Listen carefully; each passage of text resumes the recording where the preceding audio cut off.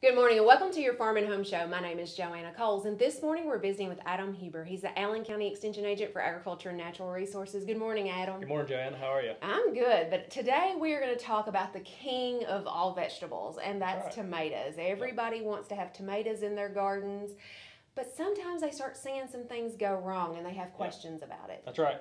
Yeah, you know, uh, tomato is, like I said, the king of all of our vegetable crops.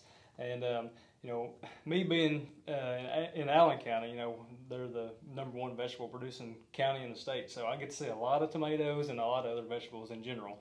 Um, and so, you know, this time of year, we really do start to see uh, some disease pressure depending on, you know, the weather um, and, and, things like that. So, you know, it is beginning to be that time of year where we're going to start seeing some, some issues probably.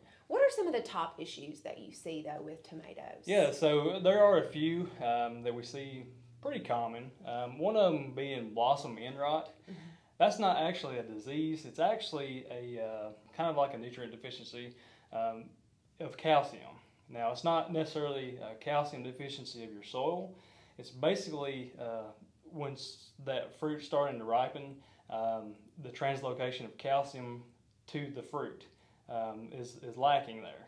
Soil moisture uh, is kind of what causes that. So if you don't, if you're not watering your your tomato plants properly or as often as you should, you possibly might see uh, some blossom end rot. And what that looks like is basically uh, once your fruit starts to develop, um, the bottom of the fruit will start to turn black and brown and just kind of look like it's starting to rot. Mm-hmm. Um, another one would be anthracnose. That's another pretty common disease that we see with our tomato plants.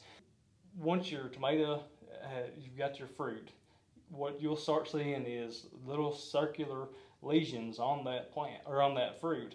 Um, they'll start to get start to sink sink in. Um, and they kind of form all around the fruit. Mm. And so once you start seeing that, that's more than likely what your issue is there. Now there are some products that you can uh, apply on that if you uh, want to apply any kind of pesticides to prevent you know these types of issues.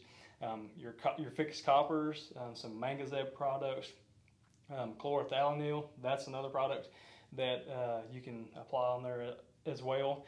Um, and with the early blight, that's the next one we're going to talk about. Those same products um, are effective for it effective well. for the same. So you're doing pretty good as far as uh, knocking out a couple diseases with one product. Now the blight, though, what it's it presents itself in a different way. Mm-hmm. Yeah. So with the blight, you're going to see that um, typically uh, it can be on three different parts of the plant. It can be on the stems, the fruit, or the leaves. Now with your with your uh, early blight, it's going to be more of a brown type of look. It's going to be circular still, um, but it's going to be more uh, a little bit larger than than your anthracnose would be. Mm-hmm. Um, Absolutely, and kind of looks like it comes from the, the ground up, up. Yep. and so if you start seeing some of that, mm-hmm. you definitely need to maybe look at some of these products. Right. Yeah. Yeah. Definitely need to. You know, like I said, it starts on the older leaves from the ground up it'd be better to start with a preventative method.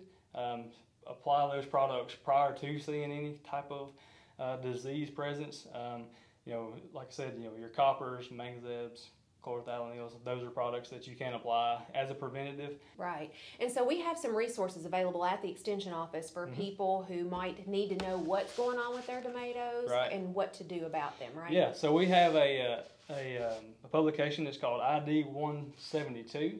It's uh, an IPM uh, guide for solanaceous crops. Um, that includes tomatoes, peppers, all those uh, crops in that same family.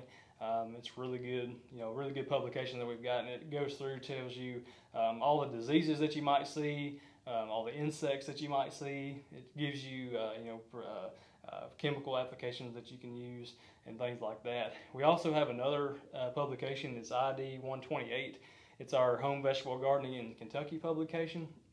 it does a really good job as well as far as uh, explaining, you know, um, diseases and insects and lots of different things. Um, not necessarily just for tomato crops or solanaceous crops, but just all of your crops in general. All right. Well, Adam, certainly appreciate the information. If you have any questions, make sure to contact your local extension office. Thanks for watching and have a great day.